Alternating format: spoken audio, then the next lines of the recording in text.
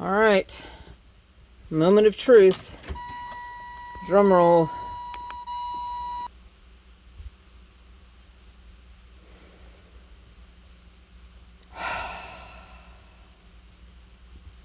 Yep. There it is.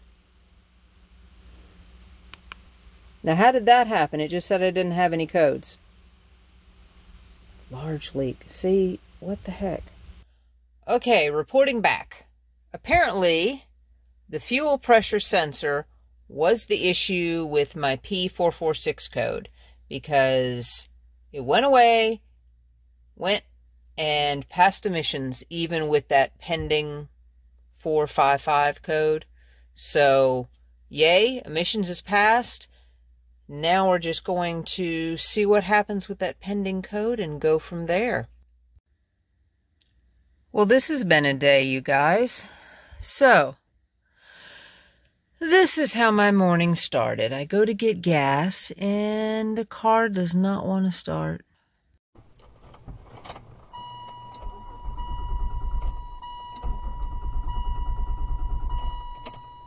Oh, buddy, come on now. Please don't do this.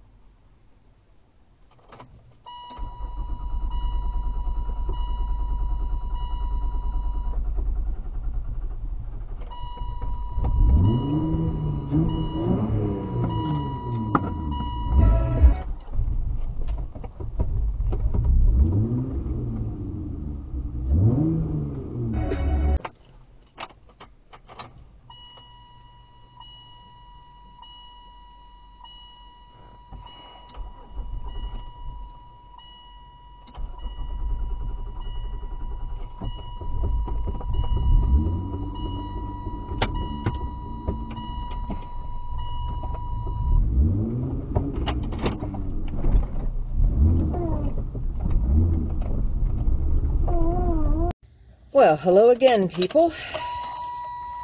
Still chasing stupid evap crap.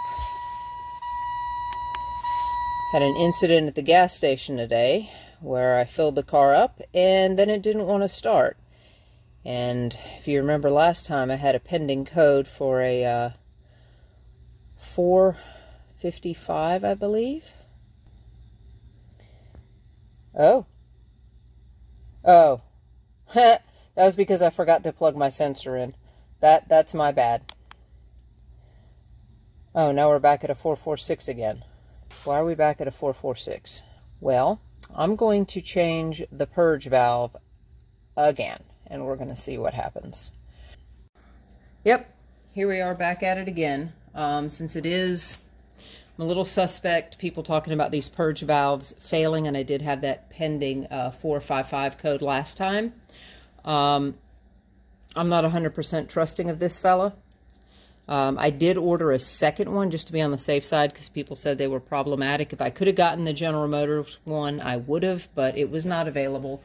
Um, I put on notice to be notified when it is available, so hopefully we'll be able to get it, and then I'll have it on standby. But the easiest thing to do, um, if you're doing this yourself, is go ahead and pull your intake on your 3.5. Uh, you know, not a big deal. You just uncouple and, you know, pull it out of the way. Gives you better access. Mine's a difficult pain in the butt to remove, um, so I'm not going to do that.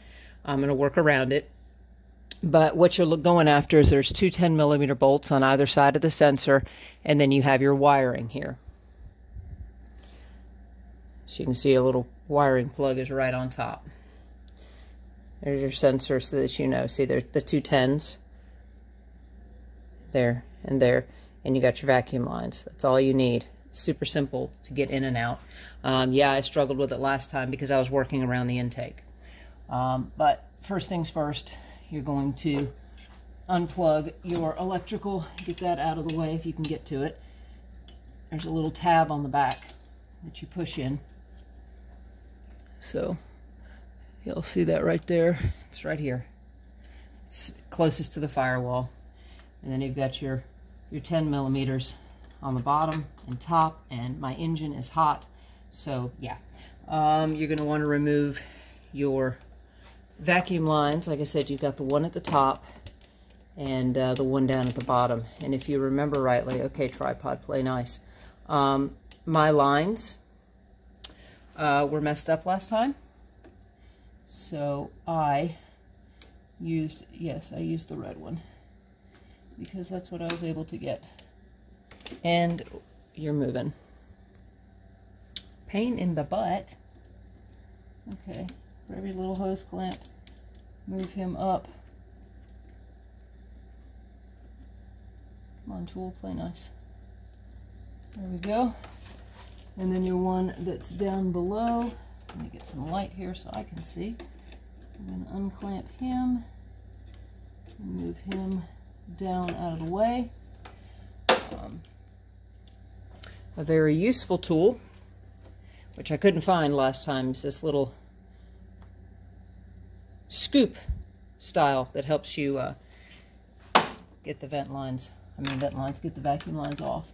I'm going to use it to push the lower one. Now this is before I disconnect so that I have something to bear against. Okay, the bottom one is undone. Of course, this is easier because I've uh, done this recently.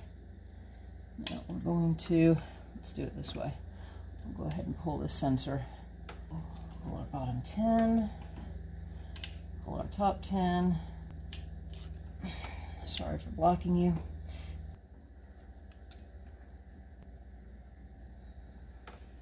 Y'all are out of frame. Hang on. Sorry, I was all up out of frame. Anyway, you just work this off. Now what we're going to do is we're going to blow in this thing and see if it's open or not. No?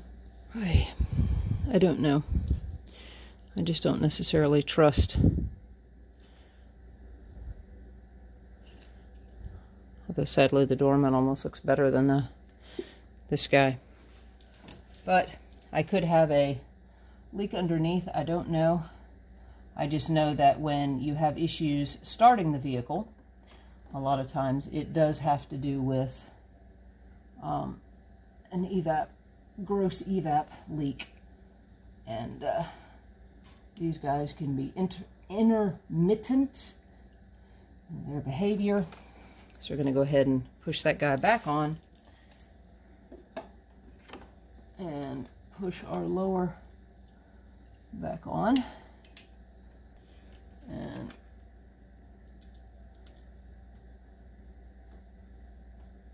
get our 10 back started See, and our one down at the bottom and do this with your hands to make sure you're not cross-threading anything because we are talking about aluminum. I'm just troubleshooting this thing as best I can. I still haven't heard back from my mechanic, go figure. Uh,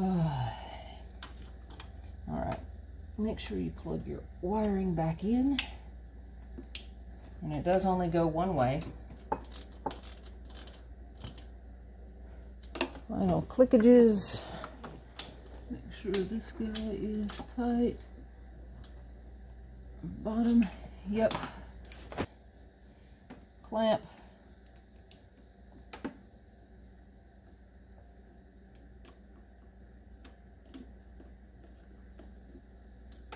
back down in place and our lower one okay had to put my head in your way to uh, get my eyeballs on it so figured you didn't want to see the back of my head we are back on everything I had read said that when you were having trouble at the gas station right after filling up, it was because the purge valve was open and it was allowing gas vapors to come unregulated into the engine.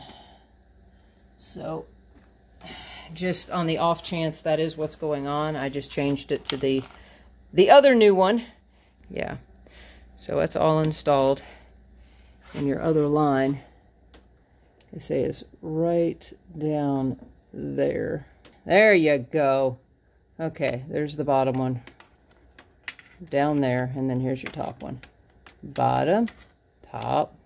There you go. Those are the two you undo. And of course the wiring and the bolt is just up underneath there. So, if you have a factory setup, it's going to be much easier, much faster for you than it was for me. So, let's see if that takes care of it. I can't believe I'm still fighting this stupid uh, 446 code. If it returns, then I guess I'm going to look at what are the prices of a purge canister because I'm I'm at a loss otherwise. But it did go away for a day, long enough for me to pass emissions, so that's what's important. So maybe this guy is a little intermittent. I don't know. Um, I'll have to do some voltage checks on him and see if he clicks open and closed. Since I got another new one on hand, it's just easier to swap it out right now and show y'all a more concise video of doing that exact thing. Okay, guys, that's all for tonight. I will check back in with you guys later. Night.